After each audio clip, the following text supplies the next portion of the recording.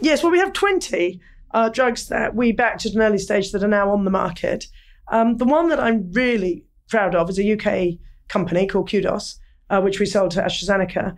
And it was in um, right at the beginning of this uh, whole field of precision oncology. So again, this idea of targeting specific disease mechanisms as opposed to, you know, chemotherapy generally, which is targeting rapidly dividing cells.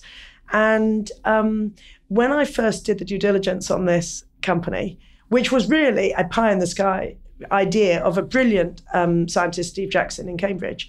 Um, uh, the feedback I was getting from industry was, well, you know, it's a nice idea, but frankly, it's for the birds. And if you can prove it, well, yes, of course, we'd be interested. But you know, good luck, lassie type feedback I was getting. Now, uh, the diligence otherwise we felt was pretty interesting. So we felt it was worth giving it a go.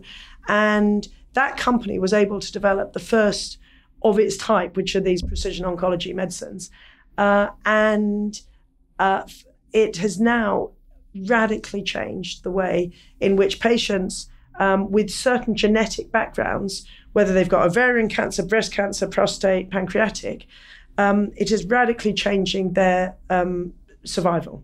So the most recent data that came out was a 40% improvement in five year survival, which for diseases which are, are rapidly lethal and often not diagnosed until quite late stage, we're starting to see really material changes.